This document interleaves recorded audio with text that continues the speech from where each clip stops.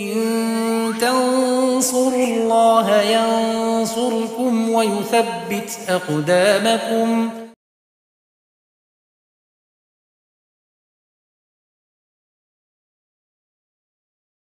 السلام عليكم ورحمة الله وبركاته. الحمد لله رب العالمين وبه نستعين على أمور الدنيا والدين. Ashrafil anbiya'i wal mursalin wa ala alihi wa sahbihi ajma'in amma ba'd Hadirin yang dimuliakan oleh Allah Puji syukur kita haturkan kepada Allah atas segala limpahan nikmat dan karunia yang diberikannya kepada kita hingga detik ini. Salawat dan salam semoga senantiasa tercurahkan kepada junjungan kita, suri tauladan kita Nabi Muhammad sallallahu alaihi wasallam beserta segenap keluarga dan sahabatnya. Pada kesempatan kali ini di pagi yang semoga Allah limpahkan berkahnya kepada kaum muslimin ada satu tema atau satu bahasan yang mana bahasan ini kami angkat karena beranjak dari pertanyaan salah seorang jemaah pada beberapa hari yang lalu.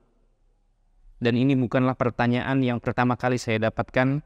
Pertanyaan yang sama juga pernah ditanyakan kepada saya beberapa kali sebelumnya ada sekitar empat kali empat orang yang bertanya yang berbeda-beda menanyakan masalah ini.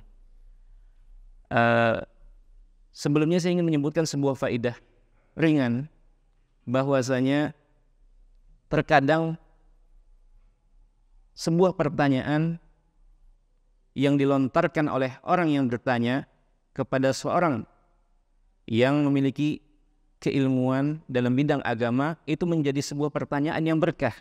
Sebagaimana kata Syekh Abdul Razak, hafizahullah taala, beliau menyebutkan ketika mengkaji pertama kali kitab Umdatul Ahkam punya uh, Abdul Ghani Al-Maqdisi rahimahullahu taala. Beliau menyebutkan bahwa sebagian penanya ketika ia bertanya dan melontarkan satu pertanyaan kepada seorang yang alim, itu pertanyaannya menjadi pertanyaan yang berbuahkan keberkahan dari Allah, mengandung kebaikan yang luar biasa, di mana akibat pertanyaan tersebut seorang ulama Abdul Ghani Al-Maqdisi beliau mengarang kitab yang diberi judul dengan Umdatul Ahkam dengan Umdatul Ahkam. Dan begitu pula ulama-ulama yang lain seperti Syekhul Islam Ibn Taimiyah rahimahullahu taala beliau tidak jarang mengarang satu kitab membahas dan mengupas satu bahasan ketika diberi pertanyaan oleh uh, seseorang seperti kitab Aqidah wa Sitiyah di mana uh, asal muasal dari kitab kecil tersebut namun sangat penting bagi orang yang hendak mempelajari akidah Islam adalah pertanyaan yang datang dari penduduk kota Wasit pada waktu itu. Dan begitu pula sampai sekarang syekh-syekh kita uh, mereka terinspirasi dari pertanyaan yang dilontarkan kepada mereka, kemudian mereka mengarang kitab atau tulisan yang sangat bermanfaat yang Allah berikan manfaat pada waktu itu. Demikian pula kiranya kami meniti jalan tersebut ketika ada pertanyaan yang ditanyakan berkali-kali dengan pertanyaan yang hampir sama dari beberapa orang, maka tema kajian kita kali ini mungkin berkaitan atau terinspirasi dari pertanyaan tersebut. Hadirin yang dimuliakan oleh Allah, Bahasan yang ingin kami angkat pada subuh kali ini adalah bahasan yang mungkin sedikit berat, tapi insya Allah tidak terlalu berat, karena pada sejatinya bahasan-bahasan ini mungkin sudah sering kita dengar, sering dikupas oleh ustadz-ustadz. Tujuan dari diangkat kembali bahasan seperti yang akan kita bahas ini adalah untuk mengikat kembali maklumat, pengetahuan yang kita eh, dapat dan juga untuk memudahkan untuk membedakan antara satu dengan yang lainnya dari bahasan yang akan kita angkat. Tema bahasan kali ini adalah berkaitan dengan perbedaan antara istighosah dengan tawasul dengan syafaat. Jadi sering uh, didapati kesulitan dalam memahami ketiga hal ini, ketiga bahasan ini. Apa itu istighosah? Apa itu tawasul? dan apa itu syafaat. Insya Allah kita tidak akan panjang lebar, kita hanya akan uh, mengulang kembali pengertian kita sebutkan dalilnya, kemudian uh, bagian-bagiannya, mana yang boleh, mana yang tidak, tanpa perlu menyebutkan contohnya. Ini sekedar untuk mengingat kembali dan untuk memudahkan kita untuk memahami ketiga bahasan ini. Karena masing-masing bahasan memiliki hukum dan konsekuensi berbeda-beda. Mungkin saat ini kita masih bingung, belum bisa memetakan mana yang boleh, mana yang tidak, mana yang termasuk bagian istighosah, mana yang termasuk bagian tawasul. Nah, tujuan kajian kali ini untuk mengupas atau mengikat kembali eh, pengetahuan atau ilmu yang sudah kita dapat terkait ketiga bahasan penting ini. Karena ketiga bahasan ini adalah bahasan yang sangat penting dalam akidah. Orang yang ingin mempelajari akidah Islam, eh, selain dia mempelajari eh, tentang tauhid, ia juga harus mempelajari ketiga hal ini. Dan ini adalah permasalahan yang sangat penting, urgent, yang mesti dipahami dan dibedakan oleh uh, setiap muslim. Jemaah sekalian yang dimuliakan oleh Allah, uh, pertama istighatsah. Sering kita mendengar lafaz istighatsah. Apa itu istighatsah? Uh, apa dalilnya? Apakah memang ada di dalam Al-Quran ataupun hadis Nabi Shallallahu Alaihi Wasallam dan seterusnya. Poin yang pertama yang akan kita bahas adalah mengenai istighasah ini. Istighasah barakallahu fikum secara bahasa atau e, didefinisikan sebagai istighasah ini adalah tolabul ighasah atau tolabul ghaus. Meminta. Istighasah adalah meminta pertolongan dan meminta bantuan dalam satu kondisi yaitu dalam kondisi sulit atau dalam kondisi mendesak itu dinamakan istighasah secara bahasa Arab. Begitu juga definisinya secara uh, syar'i. Penggunaannya di dalam Al-Qur'anul Karim dan hadis-hadis Nabi Shallallahu alaihi wasallam mengindikasikan seperti pengertiannya dalam bahasa Arab. Jadi istighasah atau ighasah itu sendiri diartikan sebagai permintaan tolong di waktu sulit. Permintaan tolong di waktu sulit dan minta diangkatnya sebuah kesulitan yang sedang dihadapi. Para ulama menyebutkan bahwasanya istighasa itu sendiri adalah permintaan tolong kepada Allah untuk menghilangkan musibah atau mengangkat kesulitan. Itu definisi istighasa itu sendiri. Jemaah sekalian yang dimuliakan oleh Allah, istighasa memiliki landasan di dalam Al-Quranul Karim. Istighatsah ini merupakan ibadah. Ibadah yang agung. Kenapa? Karena istighatsah ini pada hakikatnya ia adalah bagian dari doa. Secara umum doa adalah meminta pertolongan kepada atau meminta kepada Allah Ta'ala. Entah meminta hajat kita, meminta diangkat penyakit dan seterusnya. Nah, bagian dari doa ketika kita meminta kepada Allah di waktu kita sedang mengalami kesulitan atau uh, hal yang sangat mendesak itu dinamakan istighasah. Itu dinamakan istighasah. Jadi meminta kepada Allah untuk mengangkat kesulitan atau menghilangkan musibah di waktu sulit tersebut. Nah, ini yang uh, berkaitan dengan istighasah. Dalilnya adalah dalil yang menunjukkan bahwasanya doa adalah ibadah. Jadi setiap dalil yang menunjukkan bahwasanya doa itu adalah ibadah kepada Allah, maka bisa digunakan untuk menjadi bagian dari dalil istighatsah. Karena istighatsah ini adalah bagian dari doa, bagian dari doa. Jadi segala bentuk dalil yang menunjukkan bahwasanya doa adalah ibadah kepada Allah itu termasuk digunakan juga sebagai dalil disyariatkannya istighosah kepada Allah. Karena tidak berbeda. Istighosah itu bagian dari doa. Hanya bedanya kalau doa secara umum itu pada setiap kondisi. Kalau istighosah hanya satu kondisi yaitu kondisi sulit. Kondisi sulit. Nah, eh, salah satu dalil yang menunjukkan bahwasanya doa adalah ibadah sebagaimana firman Allah taala qala rabbukum ud'uni astajib lakum dan Rabb kalian memerintahkan kalian agar berdoa atau meminta kepadanya niscaya ia akan mengabulkannya. Hadirin yang dimuliakan oleh Allah, itu terkait dalil dari istighatsah, dalil dari istighatsah. Kemudian uh, kita beranjak ke poin yang ketiga. Tadi kita definisi, kemudian dalilnya, kemudian yang ketiga adalah pembagiannya. Nah, ini perlu kita pahami agar bisa memetakan mana istighatsah yang memang disyariatkan di dalam Islam, mana istighatsah yang kiranya itu adalah sebuah istighatsah yang keluar atau melenceng dari uh, syariat Islam. Para ulama menyebutkan bahwasanya istighatsah itu secara umum dibagi menjadi dua. Ada yang disyariatkan, ada yang tidak disyariatkan. Ada yang disyariatkan, ada yang tidak disyariatkan. Yang disyariatkan ada dua. Yang disyariatkan itu ada ada dua. Yang pertama adalah al-istighatsatu billah. Meminta tolong di waktu sulit kepada Allah. Ini adalah syariat yang secara asal inilah istighatsah yang diperintahkan dan disyariatkan di dalam Islam. Dalilnya, dalilnya di mana Allah mengabarkan kepada kita di dalam Al-Qur'anul Karim bagaimana kaum mukminin para sahabat Rasulullah sallallahu alaihi wasallam mereka meminta pertolongan dan bantuan kepada Allah di malam perang Badar. Sebelum terjadi perang Badar, kaum mukminin ketika akan menghadapi pasukan Quraisy pada waktu itu, mereka beristighatsah kepada Allah Ta'ala. Allah mengabarkan dalam firman-Nya, "Id tastaghithuna rabbakum fastajabalakum anni mubiddukum bi minal malaikati murdifin." Allah mengabarkan bagaimana kondisi kaum mukmin ketika di tengah kesulitan mereka meminta pertolongan kepada Allah pada malam sebelum terjadinya perang Badar.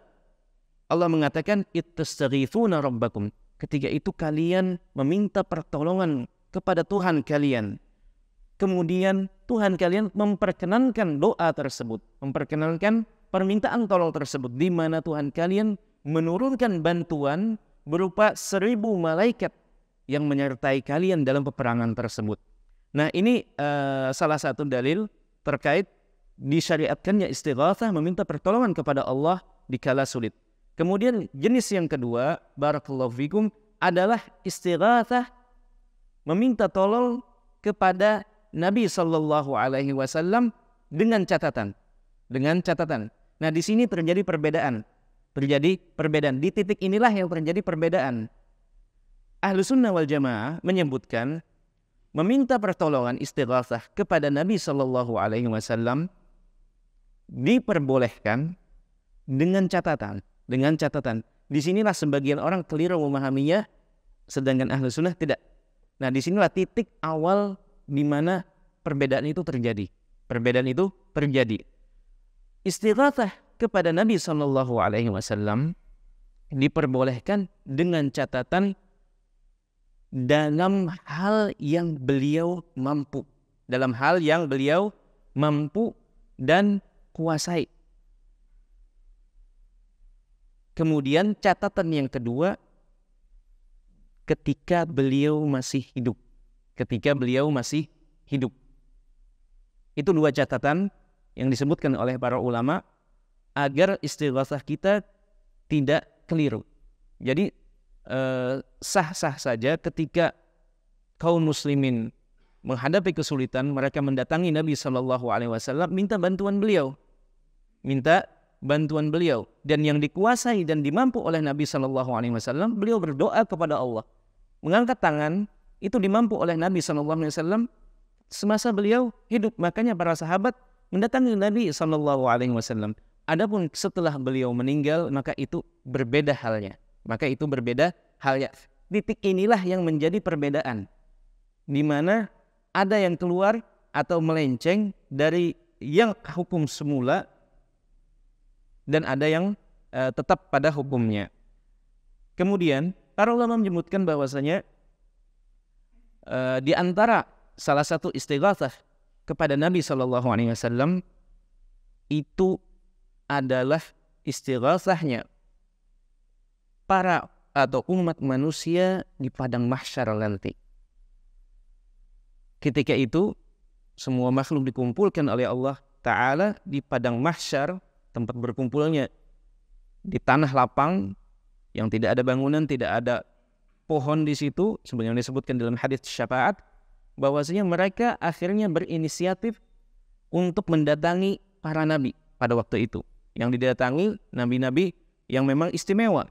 Seperti Nabi Adam, kemudian berpindah kepada Nabi Nuh, kemudian berpindah kepada Nabi Ibrahim, kemudian berpindah kepada Nabi Musa, kemudian berpindah kepada Nabi Isa. Namun semuanya menolak bahwasanya mereka tidak mampu memberikan pertolongan pada waktu itu. Pertolongannya apa? Yang diminta oleh orang-orang pada waktu itu adalah mereka meminta kepada uh, siapa saja yang dapat menghadap kepada Allah, meminta kepada Allah agar perhitungan para makhluk itu segera dimulai. Karena waktu itu benar-benar lama, tidak disebutkan berapa lama kadar uh, umat manusia atau makhluk menunggu Allah memulai hisapnya. Nah, Akhirnya yang terakhir didatangi adalah Nabi Muhammad Sallallahu Alaihi Wasallam. Kemudian Nabi mengatakan, Ana laha. Akulah pemilik syafaat yang paling agung tersebut. Di mana Nabi setelah itu mendatangi atau menghadap Allah kemudian memuji Allah dengan pujian-pujian yang sangat indah dan sangat banyak di mana kata Nabi aku tidak mengetahui ya sekarang tetapi nanti Allah akan berikan pujian-pujian tersebut nanti singkat cerita ini pula yang dipahami keliru oleh sebagian bahwasanya itu meminta istighatsah pertolongan kepada Allah di waktu sulit tersebut diperbolehkan. Buktinya di dalam hadis syafaat dan hadisnya uh, diriwayatkan dari uh, sejumlah sahabat, sejumlah sahabat lebih dari 10 sahabat itu menunjukkan bahwasanya umat manusia diperbolehkan beristighatsah kepada Nabi Shallallahu alaihi wasallam. Padahal Nabi sudah wafat. Nah ini juga keliru. Di titik ini juga orang memahaminya keliru. Or, eh, padahal itu bukanlah ketika Nabi berada di dalam kuburnya. Bukan.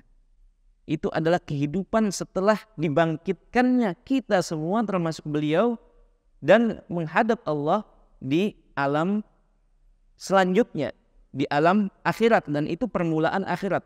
Semua orang dibangkitkan dari kuburnya dan itu kehidupan yang berbeda, bukan yang uh, menjadi titik permasalahan adalah ketika beliau masih berada di dalam kubur beliau. Nah ini yang tidak boleh. Jadi bisa dibedakan uh, mana uh, titik yang menjadi perbedaan, mana titik yang uh, membuat keliru dalam memahaminya dan seterusnya. Kemudian meminta pertolongan di waktu sulit kepada selain Nabi selama orang tersebut masih hidup kemudian dia mampu untuk memberikan pertolongan itu diperbolehkan. Di mana di dalam Al-Quran disebutkan contohnya, di mana ada dua orang bertikai, yang satu Kipti, yang satu dari penduduk Mesir, yang satunya dari umat Nabi Musa alaihi salam. Di mana ketika dua orang ini bertikai, waktu itu Nabi Musa alaihi salam memasuki kota. Kemudian yang berasal dari umat Nabi Musa alaihissalam meminta tolong kepada Nabi Musa untuk dibantu dalam menyelesaikan permasalahan ini. Kemudian uh, lengkapnya Allah berfirman, "Fastaghathahu alladhi min syi'atihi 'ala alladhi min aduwihi fawakazahu Musa faqada alaih." Kemudian orang yang berasal dari suku Nabi Musa alaihissalam atau umat Nabi Musa alaihissalam meminta pertolongan Nabi Musa di waktu sulit tersebut.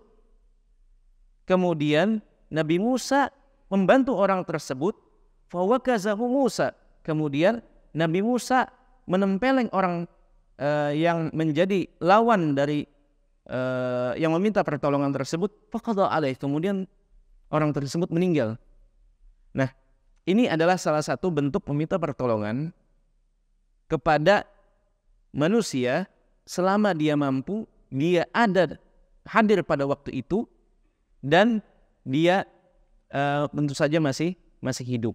Inilah kenapa Al-Sunnah menyebutkan bahwasanya uh, di antara syarat kita meminta bantuan di waktu sulit kepada orang kepada manusia diperbolehkan dengan catatan uh, dia masih hidup, dia hadir pada waktu itu bukan tidak tidak ada pada waktu itu, kemudian pada hal-hal yang memang dia mampu. Contohnya ketika kita hendak tenggelam, ketika kita hendak tenggelam, kita tidak bisa berenang, kita hendak tenggelam, kemudian ada yang lewat, kita minta tolong kepada orang tersebut di tengah kondisi sulit itu diperbolehkan itu diperbolehkan jangan ketika uh, kita memahami istighatsah itu uh, kepada Allah saja kemudian kita tidak meminta pertolongan, kemudian akhirnya tenggelam. Nah ini adalah yang yang keliru. Kemudian itu yang disyariatkan atau di, diperbolehkan. Tadi istighatsah kepada Allah dan pada asalnya itulah yang memang uh, diperboleh yang disyariatkan kemudian diperbolehkan kepada uh, nabi ataupun kepada orang lain dalam hal-hal yang memang dimampu dan dalam kondisi orang yang dimintai tolong tersebut masih hidup dan hadir di lokasi. Kemudian yang kedua, bagian yang kedua adalah yang dilarang, yang istighatsah yang dilarang Bapak dan Ibu yang dimuliakan oleh Allah. Yang dilarang ini ada tiga. Yang dilarang ini ada ada tiga. Yang pertama adalah al istighatsah kepada nabi atau orang saleh. Dia masih hidup.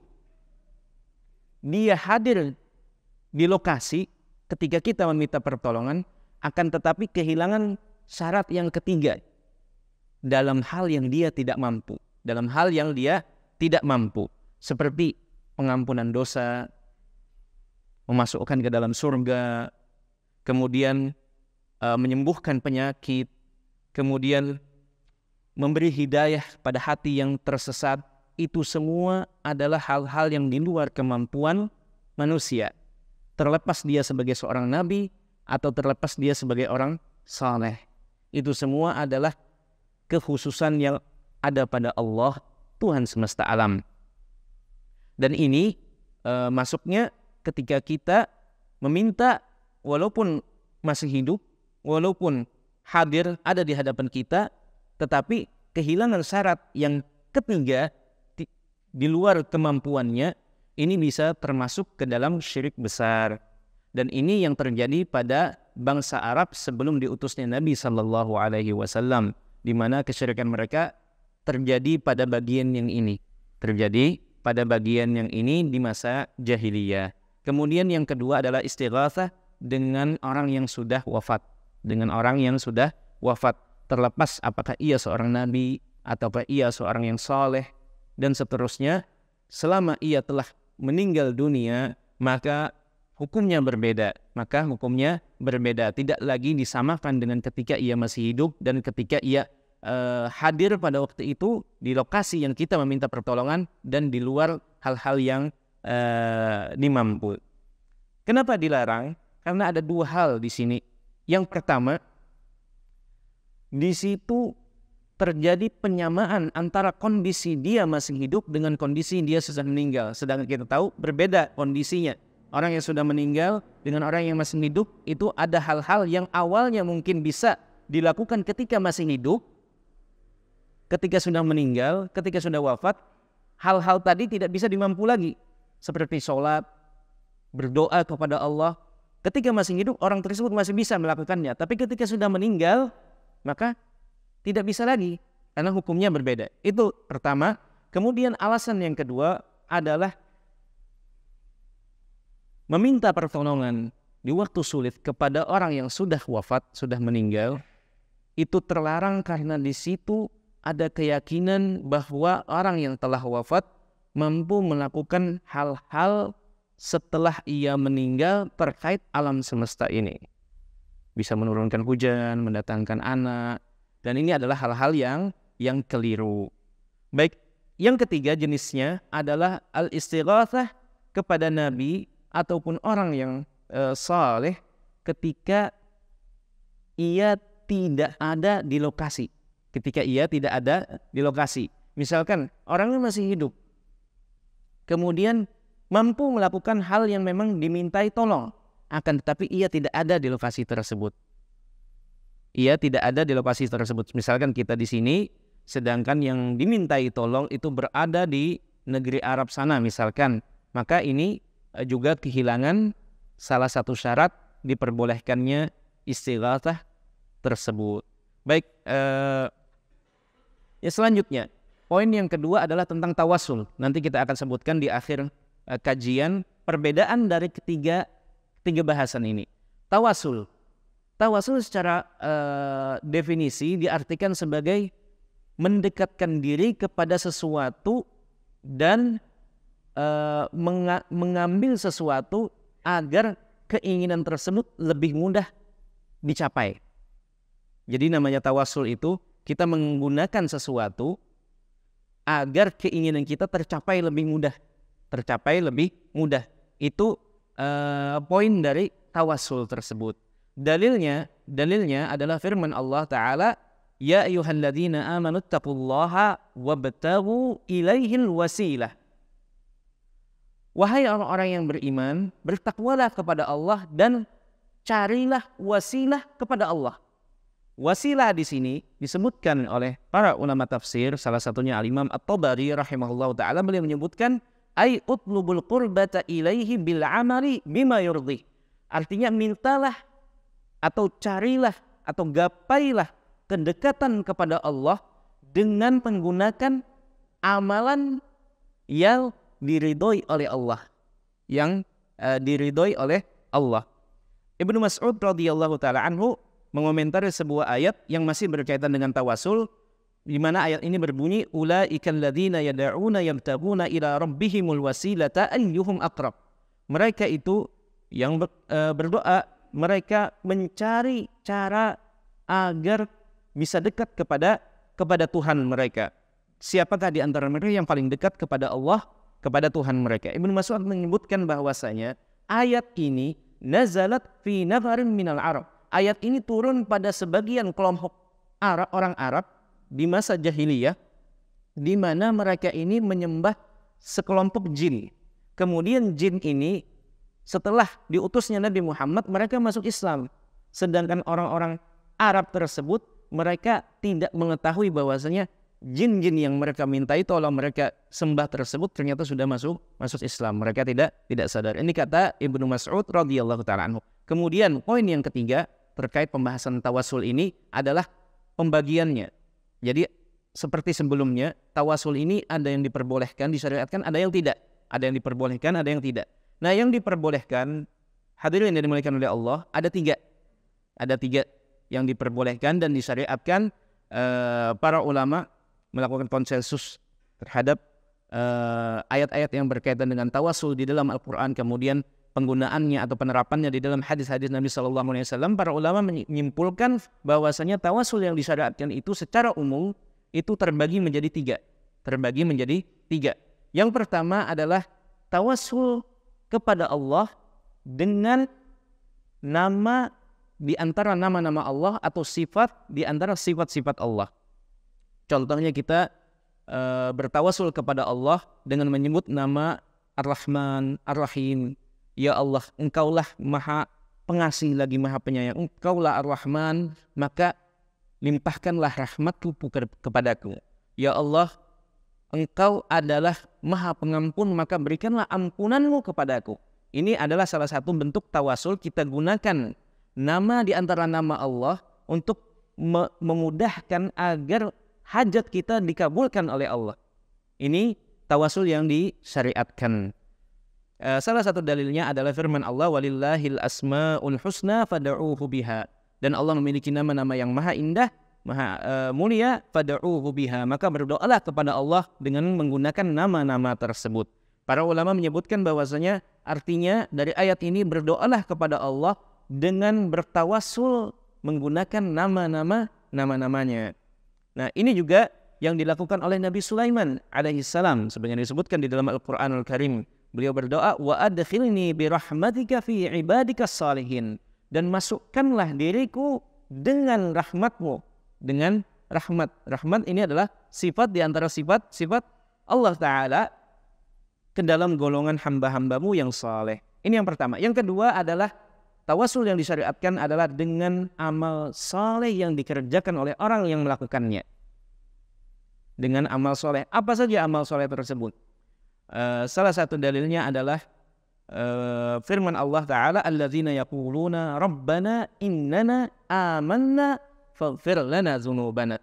Wahai Tuhan kami, wahai Rabb kami, sesungguhnya kami telah beriman, maka ampunilah dosa-dosa kami. Di sini disebutkan bertawasul dengan iman yang dilakukan oleh orang yang meminta doa tersebut atau memanjatkan doa tersebut. Dan ini juga uh, disebutkan dalam hadis yang sangat terkenal sekali di mana ada tiga orang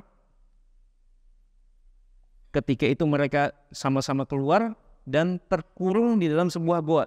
Terkurung sebuah goa, akhirnya masing-masing bertawasul dengan amal soleh yang dikerjakan. Kira-kira amal soleh yang paling pamungkas yang kita harapkan itu adalah amal soleh yang menjadi uh, yang kita lakukan benar-benar ikhlas kepada Allah itu yang digunakan untuk bertawasul. Jadi masing-masing dari tiga orang ini yang pertama bertawasul dengan amal soleh yang dilakukannya dengan uh, birrul walidain dengan berbaktinya kepada kedua orang tuanya, kemudian yang kedua dengan ketakutannya ketika ia sudah mampu untuk uh, melakukan hubungan suami istri dengan wanita yang selama ini diidam-idamkannya akan tetapi ia takut kepada Allah pada waktu itu kemudian meninggalkan meninggalkan perbuatan tersebut. Kemudian yang ketiga adalah orang yang bertawasul dengan amal soleh berupa rasa amanah yang dimilikinya di mana ia memiliki seorang pekerja yang gajinya belum sempat terbayarkan, pekerja tersebut menghilang.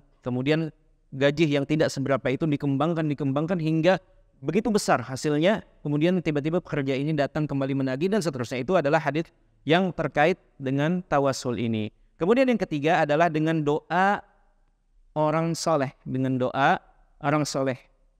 Kita bertawasul kepada Allah dengan doanya orang soleh. Dan ini yang dilakukan oleh para sahabat radhiyallahu taala kepada Nabi semasa beliau hidup. Tidak tidak jarang seorang sahabat meminta kepada Rasulullah SAW agar uh, beliau berdoa kepada Allah disembuhkan dari penyakitnya atau uh, berdoa uh, meminta kepada Rasulullah SAW agar beliau berdoa kepada Allah agar diberikan ini dan itu. Seperti salah satunya adalah hadis 70 ribu golongan yang masuk surga di mana Ukashah radhiyallahu taala anhu, beliau meminta kepada Rasulullah, "Ya Rasulullah, ij'alni minhum." Ya Rasulullah, berdoalah kepada Allah agar aku dimasukkan ke dalam golongan 70 ribu itu. Kemudian Nabi berdoa, "Wa anta minhum." Nah, eh, itu yang ketiga. Adapun yang terlarang atau tidak disyariatkan dari tawasul ini itu ada banyak sekali. Salah satunya adalah berdoa dan tawasul kepada Allah dengan zatnya Nabi Shallallahu Alaihi Wasallam atau zatnya selain beliau di antara orang-orang soleh. Kemudian juga bertawasul kepada Allah dengan jah, dengan kedudukan Nabi ataupun selain beliau. Kemudian juga ada e, bertawasul kepada Allah dengan haknya Nabi atau dengan haknya selain Nabi Shallallahu Alaihi Wasallam. Begitu pula bertawasul kepada Allah dengan kedudukan atau makam Nabi atau makam selain selain beliau. Baik, itu yang berkaitan dengan tawasul. Yang ketiga, poin yang ketiga adalah tentang syafaat. Tentang syafaat. Pengertian syafaat itu sendiri adalah at-tawassut lil ghairi fit tajawuz aniz zunub wal ikhraj minan nar atau raf'id darajah fil jannah. Arti dari syafaat kalau secara umum itu adalah kita uh, apa ya? Kita menjadi orang yang menengahi. Kita menjadi orang yang meneng ini syafaat secara umum baik itu di dunia dalam perkara urusan dunia itu artinya kita menjadi penengah antara uh, orang yang hendak memiliki hajat dengan orang yang dimintai tolong itu itu namanya syafaat. Itu namanya syafaat secara umum. Nah adapun secara khusus di akhirat nanti itu adalah syafaat uh, para nabi kaum mukminin anak-anak kecil yang wafat dalam kondisi masih kecil di dunia mereka memiliki syafaat. Nah maksudnya adalah mereka menjadi penengah agar orang yang diberi syafaat itu dikeluarkan dari neraka atau diangkat derajatnya beberapa derajat di dalam surga. Ia masuk surga tetapi diberi syafaat oleh Nabi untuk dinaikkan derajatnya ke derajat yang lebih tinggi atau orang tersebut berada di neraka di diangkat dan dikeluarkan dari neraka dengan syafaat Nabi Wasallam. Nabi meminta kepada Allah agar diizinkan. Lihat di sini. Nabi meminta kepada Allah agar diizinkan mengeluarkan orang-orang dari umatnya yang masuk ke dalam neraka. Itu maksudnya adalah syafaat yang terkait dengan akhirat. Dan inilah yang menjadi bahasan kita. Nah, dalilnya adalah firman Allah Ta'ala wa ya'buduna min dunillahi ma la yadurruhum wa la yanfa'uhum wa yaquluna haula'i. Dan mereka menyembah selain Allah yang tidak memberikan mudarat dan tidak juga memberikan manfaat sedangkan, sedangkan mereka mengatakan mereka inilah syufa'una. Mereka lah pemberi syafaat kami Tuhan-Tuhan yang disembah tersebut di sisi Allah. Kemudian ayat-ayat yang lain, namun yang uh, menjadi uh, poin bahasan adalah berikutnya. Sebagian ayat itu menyebutkan adanya syafaat, sebagian lagi meniadakan syafaat. Nah, di sini para ulama menyebutkan bagaimana mengkomparasikan antara syafaat yang ditetapkan dengan syafaat yang ditiadakan di dalam ayat-ayat yang banyak sekali jumlahnya di dalam Al-Qur'anul Karim. Yang pertama, salah satu syarat yang diadakannya syafaat itu adalah qudratus syafi' ala syafaat. Kemampuan yang ada pada orang yang memberikan syafaat untuk memberikan syafaat. Kemampuan tersebut. Dari sini, dari saat yang pertama ini dipahami bahwasanya meminta syafaat kepada orang yang telah meninggal dunia itu adalah permintaan yang tidak dimampu oleh orang yang telah wafat tersebut. Kenapa? Karena dia kehilangan kemampuan untuk memberikan syafaat. Orang yang meninggal dunia berbeda hukumnya dengan orang yang masih hidup. Dia tidak bisa bicara, dia tidak bisa uh, memberikan pertolongan, dia tidak bisa berdoa dan seterusnya. Ini yang pertama. Yang kedua adalah syarat terpenuhinya syafaat atau diizinkannya syafaat di sisi Allah itu adalah Islamnya orang yang diberi syafaat. Artinya yang diberi syafaat nanti adalah orang-orang yang beriman kepada Allah. Kemudian yang ketiga uh, adalah izin untuk orang yang memberi syafaat dan izin ini berasal dari Allah. Berizin ini berasal dari dari Allah. Tentu saja dalilnya ada ada banyak yang terkait dengan syafaat ini. Kami sebutkan secara ringkas karena waktu tidak uh, tidak banyak lagi. Kemudian yang keempat adalah ar-ridha 'anil masyfu'ilah. Yang keempat syaratnya adalah Allah meridhoi orang yang diberi syafaat. Tadi apa bedanya dengan Islamnya orang yang diberi syafaat? Berbeda.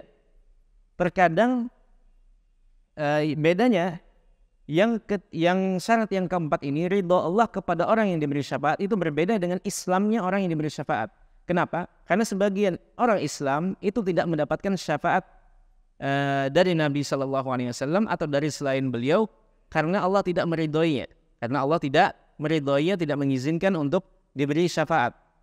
Nah, uh, kemudian itu yang empat syarat terkait uh, syafaat ini. Nah, sekarang uh, pada poin terakhir dan ini adalah uh, waktunya kita mengupas atau membedakan, memetakan perbedaan antara ketiga bahasan ini, ketiga bahasan ini. Pertama, perbedaan antara istighosah dengan syafaat. Mungkin kita mengulangi sedikit. Kalau istighosah tadi meminta kepada Allah di waktu sulit atau meminta diperbolehkan kepada manusia baik itu kepada nabi atau kepada uh, orang lain pada hal-hal yang dimampu, pada hal-hal yang yang dimampu. Baik. Itu definisi dari istighatsah. Kemudian kalau tawasul meminta kepada Allah, kalau yang tadi istighatsah meminta kepada Allah atau kepada uh, selain Allah dalam hal-hal yang dimampu dengan syarat-syarat yang tadi disebutkan. Kalau tawasul itu artinya meminta kepada Allah saja tetapi menggunakan amal yang diridhoi oleh Allah. Dengan amal yang diridhoi atau sesuatu yang diridhoi oleh Allah demi membuka pintu ijabah demi membuka pintu ijabah. Baik lebih mudahnya kita akan menggunakan dua sisi. Ya sisi yang pertama siapa yang dituju dalam istighosah dan siapa yang dituju dalam uh, tawasul ini yang pertama sisi yang pertama untuk memudahkan.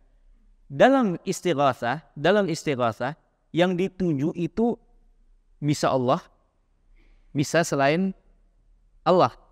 Seperti Nabi Muhammad semasa beliau hidup dalam hal-hal yang beliau mampu atau orang lain ketika contohnya kita hendak tenggelam kita minta tolong kepada orang lain yang lewat yang kira-kira mampu menolong dan berenang. Nah, itu bisa dituju kepada Allah kepada selain Allah.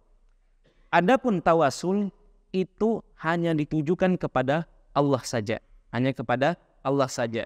Adapun hal yang digunakan untuk mengetuk pintu Allah itu disebutkan ada macam-macam tadi dengan amal soleh, dengan doanya orang yang soleh, ataupun dengan nama-nama atau sifat-sifat Allah. Tetapi yang dituju, yang dituju hanyalah Allah. Ini perbedaan yang pertama atau sisi yang pertama. Yang kedua adalah sesuatu yang digunakan dalam uh, bahasan istighatsah. Sesuatu yang digunakan, digunakan dalam bahasan istighatsah itu tidak ada. Hanya sama halnya seperti doa. Kita meminta kepada Allah, kemudian mengutarakan hajat kita. Adapun dalam tawasul itu yang digunakan adalah sebab-sebab yang menjadikan doa kita lebih mudah dikabulkan oleh Allah. Seperti amal soleh, dengan iman tadi, dengan doanya orang soleh, kemudian dengan nama-nama atau sifat-sifat Allah. Bisa dipahami tadi perbedaannya.